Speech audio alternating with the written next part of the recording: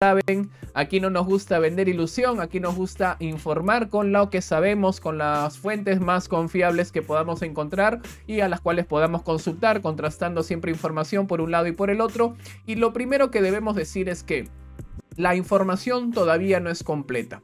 La entrevista recién será compartida el día de mañana y a partir de mañana recién se podrán sacar conclusiones reales. Por eso es que el Manchester United ha decidido no pronunciarse hasta que sea emitida esta entrevista entre miércoles y jueves. O sea, hasta el día jueves por lo menos, eh, mejor dicho, hasta el día viernes por lo menos, no se sabrá de lo que está pasando o de la respuesta del Manchester United porque aún no tiene los detalles completos. Las declaraciones pueden haber sido tergiversadas, es decir, sacadas de un contexto, por lo cual no podemos tampoco dilapidar ¡Jua! de frente a Cristiano Ronaldo, pero es bastante difícil tratar de acomodar algunas partes importantes que vamos a resaltar de lo que hemos escuchado en este fin de semana. Y empezamos en primer lugar con algo que no podemos pasar por alto. Yo como periodista, como conocedor de una u otra forma de cómo se maneja la agenda, el timing mediático en los medios de comunicación y la forma de conseguir vistas es algo que yo no hago. Por, me dicen, ah, busca otra forma de conseguir vistas, que tienes que hablar de Cristiano Ronaldo. Pues Cristiano Ronaldo, para bien y para mal, afecta a todo el mundo y hay que pronunciarse de alguna u otra forma. Mi deber es informar y bueno, el día de ayer informé y aproveché el incidente precisamente porque había mucho revuelo del pueblo Gunner pidiendo que podría ser una alternativa para el Arsenal. O sea, eso es completamente descabellado. Aproveché ese incidente para, para eh, recordarles de que había habíamos salido de eso hace solamente un año. No podíamos volver a, tropezar con la misma piedra. Pero bueno, vamos a empezar con lo más importante, que esto no puede ser pasado por alto, pero es pasado por alto por la mayoría de personas que ha visto la entrevista. ¿Por qué? Porque no conocen, no viven en el Reino Unido, no les interesa quién es la persona que está entrevistando a Cristiano Ronaldo, pero aquí sí nos interesa porque es muy importante. Hay que empezar diciendo que Cristiano Ronaldo se ha reunido con el personaje más nefasto en la prensa eh, pública y nacional en el Reino Unido. Es de lo más asqueroso, denigrante, patético y de lo más repudiable del periodismo a nivel mundial.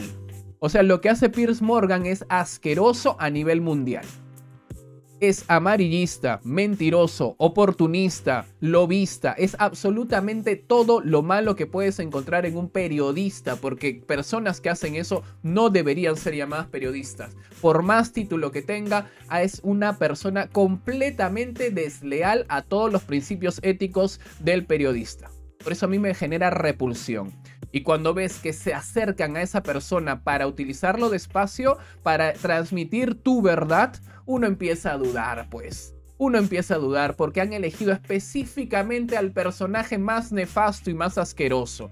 ¿Por qué? Porque iba a ser parte de este show. ¿Ustedes creen que le ha hecho alguna repregunta, alguna pregunta fuerte, ¿no? Alguna pregunta incisiva. ¿Le ha preguntado sobre sus casos de violación allá en los Estados Unidos? Por supuesto que no. Eso no va a suceder. Por eso eligió a Pierce Morgan, una persona que quiere sangre, le gusta ver correr sangre nomás. Ya el hincha del Arsenal lamentablemente tiene que vivir con esta porquería de persona porque según dice es hincha del Arsenal. Se encargó durante meses desde la llegada de Mikel Arteta de, de manipular a la información, de repudiarlo, de atacarlo y bueno, de eso para abajo. De eso para abajo, poniéndose del lado a Pierre-Emerick Aubameyang y demás cosas horribles que el hincha del Arsenal. Yo, por ejemplo, lo bloqueo en las redes sociales, no tengo por qué consumir eso. Y ahora me sale Piers Morgan Uncensored, o sea, su programa de televisión. Es eh, de verdad, este es el colmo. Es un escándalo que Cristiano Ronaldo haya sido tan tonto o tan inteligente, porque se puede leer de ambas partes. Yo, para mí, es súper estúpido. Porque, porque a mí no me vas a manipular. Eres tonto de haber elegido a Piers Morgan. Lamentablemente para el resto, para su grueso de público, para sus, como se llaman, los bicho lovers, lamentablemente para ellos la selección del personaje es la perfecta. Una persona que no la va a cuestionar, que va a asusar, que va a ponerle candela, que le va a poner más llama, que cuando ves que ya se está apagando la hoguera le va a echar más, más este querosene para que se inflame más. Eso es Pierce Morgan. Una persona que está dispuesta a revelar la entrevista justo después del minuto final del partido contra el Manchester United. No antes, no después. Una persona que está de acuerdo en todo lo que vas a decir. que tienes ya pactado previamente lo que vas a decir y qué no te va a preguntar. No, no, esta, esta entrevista empezó muy mal desde la selección. Pero empezó muy mal para las personas que somos capaces de cuestionar. Pero empezó muy bien para las personas que no, para Cristiano Ronaldo y su séquito de seguidores que no saben cuestionar. Que solamente bajan la cabeza y creen absolutamente su verdad. Esto no es, esto no es casualidad. Viene anunciando esta entrevista hace meses. Lo que anuncia y lo que denuncia en esta entrevista no sucedió el mes pasado, ni hace unas semanas, ni ayer, ni hace seis meses. Lo que denuncia el desastre del Manchester United lo conoce el hincha del United hace años. Y yo siendo hincha del Arsenal conozco de los agujeros que se meten, las filtraciones que caen, el agua se pasa ahí a través de los techos del estadio.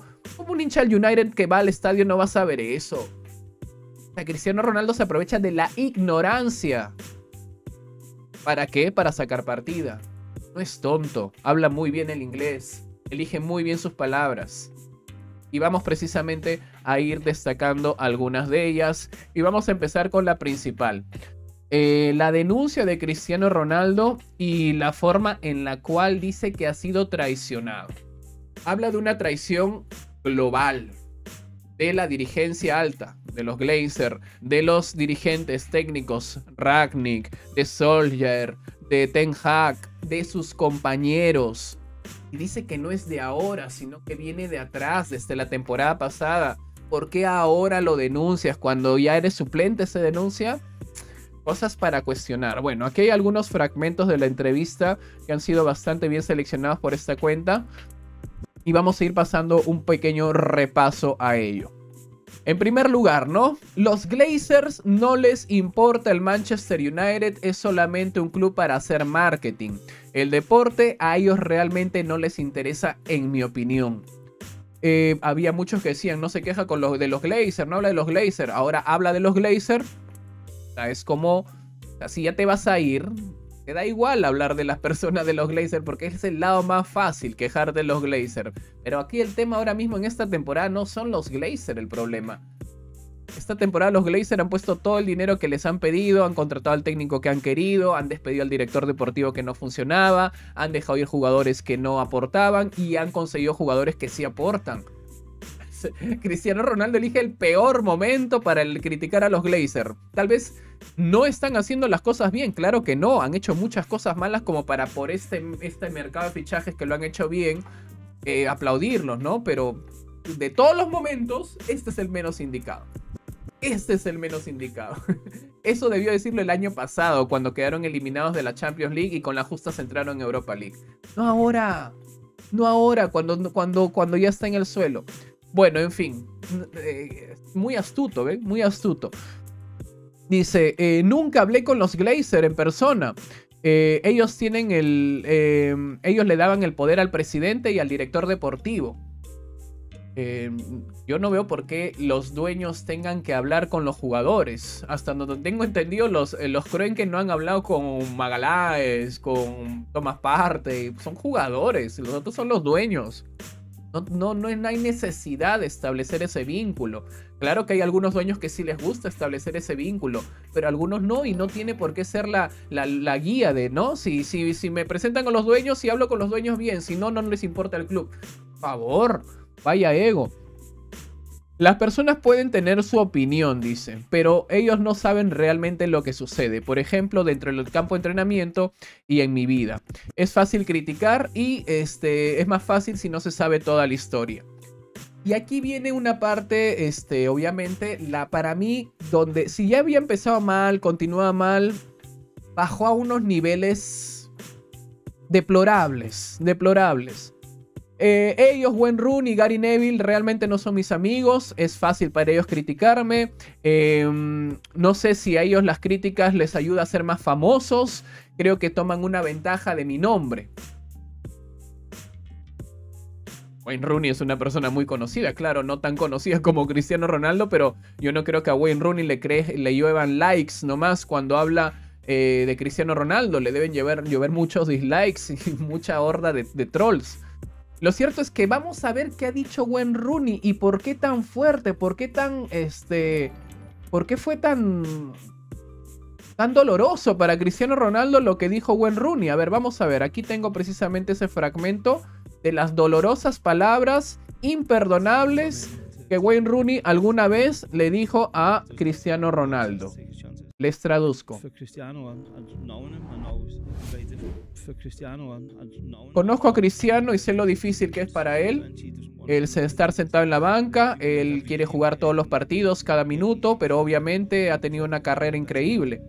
Eh, mejor que él lo sabe mejor que nosotros y es uno de los dos grandes jugadores que siempre han estado en este mundo, en este mundo del fútbol. A ver, pero se me pasa muy rápido habla Wayne.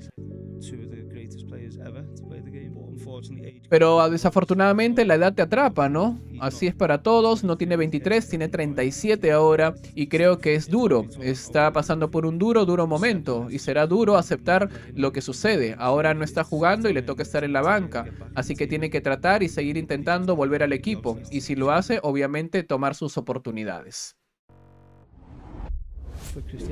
Bueno, ahí están viendo, esas son las duras y desgarradoras opiniones que Cristiano Ronaldo no pudo aceptar de el terrible y nefasto Wayne Rooney.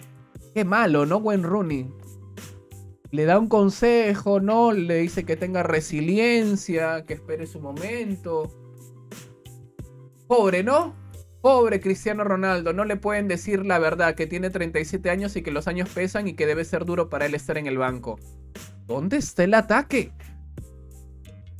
¿Dónde está el ataque? ¿Por qué le hizo eso a Wayne Rooney? ¿Por qué, ¿Por qué le mandó esa a Wayne Rooney de gratis? Y lo peor de todo es que empieza a hablar de su aspecto. Bueno, yo me veo bien, ¿no? Tal vez es porque él ya no puede jugar al fútbol, que ya se retiró temprano. Y bueno, como puedes ver, las cosas están así. Y luego el otro tarado, Pierre Morgan, le dice, oh, sí, obviamente, tú te ves mucho mejor. Esto es un show. Esto es un show. Esto es un circo barato, porque con respeto a los grandes circos, hasta los circos de barrio te, ofrecen un mejor espectáculo que esta payasada. Con respeto a los payasos también. Es que ni risa me ha dado esto, te lo juro, pensé que me iba a reír un poquito con esto. Eh, bueno. Mal, ¿no? Mal. Pasamos a, a, ver, quiero leer algunos comentarios antes de seguir rapidito. A ver. Morgan tuvo problemas con Aubameyang también. Al contrario, tuvo, a ver, lo apoyaba Aubameyang y todas sus insolencias, indisciplinas. Y pedía que Arteta se vaya y que Aubameyang regrese. Así, así de idiota era. Dice, yo soy fan de Cristiano, pero entiendo que no era el momento y todo lo que pasó. Eh, este, bueno, ahí está. Lo único malo de ser Gunner es compartir la afición con ese tipo, dice. Bueno, ahí está, la gente conoce, conoce efectivamente a Pierce Morgan y la conoce bastante bien. Pero bueno, eso no es. A ver, ya hemos hablado de lo de Cristiano Ronaldo. Eh, habló también de su tema personal, ¿no? Y ahí también hay algo muy duro. Hay algo muy, pero muy, muy injusto porque Cristiano Ronaldo cuando habla de su tema personal es raro porque se menciona y habla de su hija, ¿no? De tres años, que estuvo hospitalizada, que lamentablemente eh, no le hicieron caso, pobrecito él, pobrecita su hija. Y la gente decía, persona que utiliza a su hija, no creo, no creo, no creo. ¿Cómo vas a utilizar a tu hija? He visto cosas peores, He visto cosas peores. Y sinceramente, lo que ha sucedido es totalmente falso porque no nos puede agarrar de tontos, como insisto, a la mayoría sí de, que ignora del tema lo agarrará de tontos, pero a nosotros no. Cristiano Ronaldo cuando se ausenta en los primeros partidos con Manchester United en la pretemporada, Eric Ten Hag y el director deportivo salen a hablar bastante bien de él. O sea, está en un problema, no se preocupen, ya volverá, es parte de la temporada, es parte de nuestro equipo. Y él estaba buscando otro club cuando regresa a, a Carrington regresa con Jorge Méndez. ¿Para qué vuelves con tu, con tu agente? Si es que no hay ninguna cosa de qué hablar. Simplemente tienes que ponerte a trabajar. ¿Para qué llegas con Jorge Méndez? Porque estaba buscando salida. O sea, esta historia me la conozco, fue exactamente lo que hizo Pierre-Emerick Aubameyang. Le dijo, me voy a Barcelona porque ahí está mi papá. Sí, claro.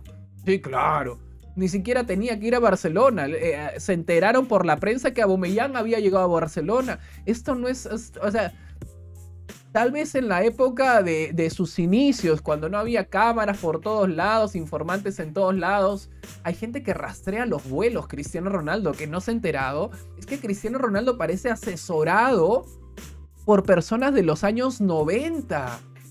¿Cómo no se va a enterar que en el Manchester United hay crisis, que siguen utilizando la misma piscina, que siguen los mismos jugadores, las mismas personas ahí, que no hay ambición de los Glazers, que, que no tienen ningún tipo de, de orientación para dirigir al club, que son completamente ineptos? O sea, eso lo sabe hasta el hincha menos hincha del Manchester United, pero algo sabe. Y Cristiano Ronaldo con todo el dinero que tiene no conoce quién es Ralph Ragnick. ¿Qué tal falta de respeto? Así mismo, o él queda en vergüenza. Para mí no queda en vergüenza. Ah, míralo, ninguneó al Raf Ragni, claro, eh, medio pelo. Para mí queda en vergüenza Cristiano Ronaldo y su séquito de agentes. Jorge Méndez, ¿de qué mierda le informa? Y es que es cierto. A Cristiano Ronaldo durante mucho tiempo lo han educado y lo han criado así y lo han dicho muchas personas de su entorno. No podías decirle que no. No podías decirle que Messi había sido el mejor esa, esa fecha, tenías que decirle que él lo había hecho mejor, así no hubiera jugado esa fecha de Cristiano Ronaldo. Y estas no son mentiras, estas son fuentes, son fuentes eh, confiables. Y Cristiano Ronaldo lamentablemente se ha vuelto una fuente de desinformación. Claro que va a haber mucha gente que le cree, pero mucha gente también ha abierto los ojos se ha dado cuenta que lo que está haciendo no es a favor del Manchester United. ¿Ustedes creen que a él le importa de verdad en la salud del Manchester United y de que los Glazers se vayan? ¿Ustedes creen que él se ha sumado a la campaña del Glazer out? No, eso es, eso es lo menos lógico que puede haber. Cristiano Ronaldo ha hecho todo lo posible porque al Manchester United le vaya mal solo ha hecho lo posible para que él le vaya bien y de casualidad los goles que metió la temporada pasada ayudaron al Manchester United. No es por, no es por el club. Él estuvo a nada de irse al Manchester City, lo confirmó él mismo. Entonces, ¿dónde está la falta de respeto? Si la falta de respeto está solamente en creer que el Manchester City es una alternativa para ti. Tú eres una persona bastante vinculada al Manchester United y si te vas al Manchester City, un equipo que está mejor en la actualidad, una traición total. Eso es una traición. El simple hecho de haber estado cerca de firmar para Guardiola y el Manchester City. Eso es traición. Eso es traición. Y luego dice que Ferguson fue el que lo convenció. Ah, la culpa ahora la tiene Ferguson por convencerte a ti, pobre hombre descarriado que te ibas al Manchester City. Pobrecito de ti. Pobrecito de Cristiano Ronaldo que no sabía que Manchester Old estaba allá y el Etihad estaba allá. Entonces, ¿de qué estamos hablando? ¿De un niño de 5 años, de 8 años? ¿O de un viejonazo de 37 años? Que no te engañe, hermano, el Manchester United, hincha Red Devil. Que no te engañe. Tú sigue aferrado a la idea que está proponiendo ahora Ten Hag. Ese es el camino que deben seguir. No sé si será el camino que los lleven de nuevo a sus años de gloria, pero el de Cristiano Ronaldo ciertamente los va a llevar a más desgracias. Aprendan la lección, desvincúlense, retiren su fanatismo por esta persona y admiren al jugador que fue, que fue. Ya no lo es. Ya no lo es. No le puede meter goles al sheriff, al Omonia Nicosia, no puede respetar al técnico y lo peor de todo, sale a decirle al mundo entero que no respeta a una persona que no lo respeta. Yo te respeto para que tú me respetes. ¿Qué cosa eres, la doctora Ana María Polo? ¿Qué es esto? Caso cerrado, respete para que me respeten. ¿Qué es esto? ¿Qué es esto? Esto es, como les digo, peor que un circo barato de, de barrio. ¿Dónde han visto que alguien diga eso? En los adolescentes. Un adulto no piensa de esa manera. Yo no respeto porque a mí no me respetan. Por favor, ese es el ejemplo que les da a tantos niños, jóvenes y personas que lo siguen. Si no me respeto, no me. ¿Y cómo sabes tú que no te han respetado? Si lo que ha hecho Eric Ten Hag es todo el tiempo apañarte y hasta el final darte la banda de capitán. ¿Cómo sabes que no te respetan? ¿Porque no te ponen de titular? Entonces condices al discurso barato, pobre, paupérrimo, ignorante de tantas personas en el mundo. Cristiano Ronaldo se merece más respeto, no lo puedes meter al minuto 82. Pero ¿qué respeto más necesita un hombre que no debería jugar ni un minuto más? Ya es suficiente con 8 minutos. Así es la vida, los años pasan. Y Wayne Rooney se lo dijo de buena manera. A otras personas como yo se lo decimos de una manera más ruda. No estás para la Premier League, no estabas para la Premier League ya, pero metió 18 goles en circunstancias bastante atípicas. Bastante atípicas. Le metió dos goles al Arsenal. Con eso te digo todo. Ha sido muy atípica. Algunos penales, pelotazos, cosas así. Goles de goleador, que hoy por hoy ya no tiene. Omonia Nicosia, Sheriff Tiraspol. Muy difícil de anotarles, no creo. Pero eso no termina ahí, sigamos. Y es que ha habido, por supuesto, filtraciones de este video, ¿no? Vamos a ver a qué video hago alusión y varios ahí han comentado el videíto famoso con Bruno Fernández, en el cual se les ve que al parecer el jugador Bruno Fernández le habría negado el saludo, ¿no? O habría un tipo de incomodidad en el saludo. Ahí vemos este, a Cristiano Ronaldo, que en principio queda con la mano un poco extendida, ¿no? Estas son imágenes que se compartieron el día de ayer. Y bueno, la efusividad de Bruno Fernández, que no es tampoco el más efusivo del mundo. Mentira, es súper efusivo. Miren cómo lo saluda Cristiano. Así nomás, súper frío. ¿Y cómo saluda al resto? Eh, eh, oh, eh. No se ve, no se ve la imagen, pero continúa. Lo saluda así para abajo, así de codito, así. Eh, uh, así de pechito se saluda. No lo sé. Para quien quiera interpretar, Joao Mario, seleccionado portugués, ha salido a decir que no había ningún tipo de problema ahí. Dice que no había ningún tipo de problema ahí, que es normal. Eh, le estaban bromeando a Cristiano Ronaldo porque había tardado mucho Bruno Fernández en llegar. Dice, he visto fotos y ha sido una broma entre ellos. Eh, fue porque fue uno de los últimos en llegar y Cristiano le preguntó, le dije que viniste en barco o qué. Y bueno, eh, Bruno Fernández luego sale con este tweet con este Instagram les dice a la gente, oh, este, yo a Mario le estás eh, arruinando las portadas a los periodistas. Em, como quieran, como quieran. Pueden, pueden, seguir diciendo que no hay nada, que todo es, todo es color de rosas y que van a salir campeones del mundo. Ya queremos verlo. Ya queremos verlo. Cristiano Ronaldo llega con minutos nomás de juego. ¿Qué va a hacer en ese mundial? ¿qué va a hacer en esa Copa del Mundo? O sea, no llega bien físicamente. No llega bien futbolísticamente. Todo puede pasar porque al final es fútbol, ¿no? Y al final son selecciones de fútbol y no es lo mismo que niveles de clubes. Pero no llega en su mejor momento.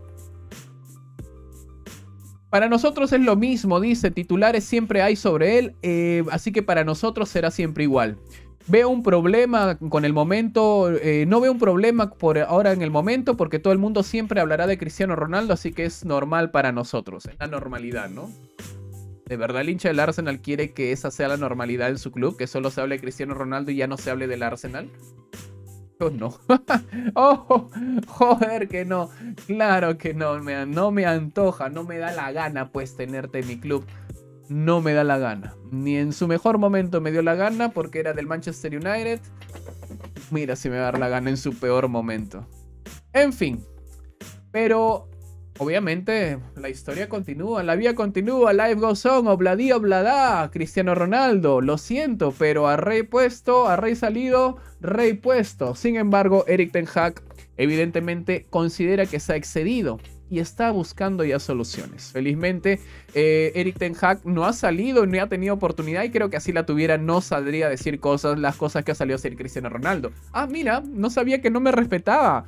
Me lo hubiera dicho cuando le estaba poniendo la banda de capitán, pues hijo de eso le hubiera dicho yo que Eric Ten Hag. Yo que el pelado salgo y le digo eso.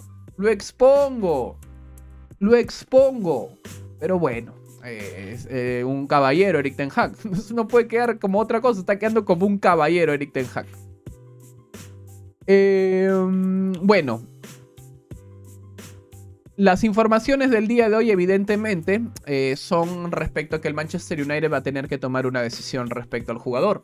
Están consultando a su equipo de abogados para ver si es que el jugador ha incurrido en faltas. Para ver en qué faltas ha incurrido en verdad, porque obviamente ha incurrido en varias faltas. Ha metido con los dueños, con el técnico, con exjugadores, con ex leyendas, con sus compañeros, la institución, con los aficionados, con qué más se ha metido. ¿Con quién más se ha metido? Con, conmigo nomás creo que no se ha metido, perrón, Cristiano, no, no, no, no te he hecho nada yo, ¿ah? Eh, ¿qué, va a pasar? No, no sé. La cosa es que el Manchester United dice que le podría poner una multa de, de un millón de libras. No es nada para este jugador, lo paga en un 2x3, va al cajero y lo paga. Sin embargo, eh, existe la... Em, sin embargo, según informaciones de ESPN, existe la opinión de que Eric Ten Hag creía, a pesar de todo, que Cristiano Ronaldo, bien motivado y bien encaminado, bien con, más confianza y minutos, podría ser importante para la segunda parte del torneo.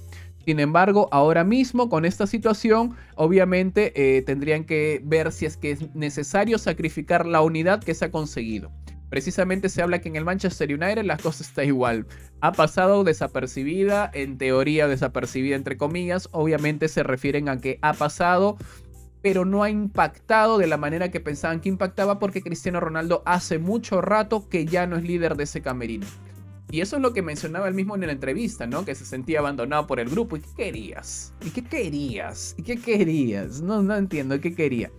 Y bueno, eh, según informa también Rob Dawson de ESPN, eh, Eric Ten Hag cree que Cristiano Ronaldo fue demasiado lejos con sus críticas al Manchester United y este, sobre su revelación del no respeto hacia él. Em, así que Eric Ten Hag le ha pedido y le ha solicitado al Manchester United que no vuelvan a eh, contar con los servicios de Cristiano Ronaldo porque no lo iba a volver a utilizar.